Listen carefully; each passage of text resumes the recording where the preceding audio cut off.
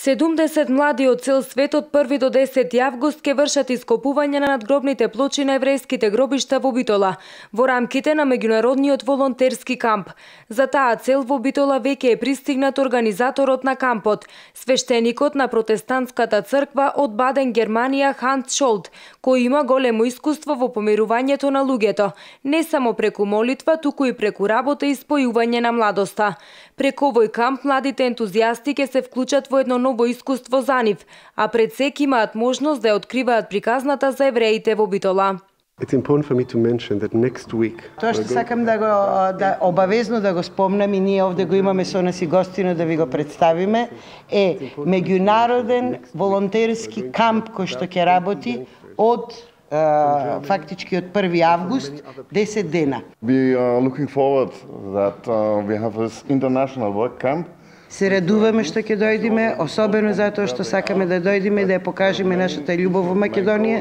нашата желба на поврзување на сите христијански народи и нивното ценење на а,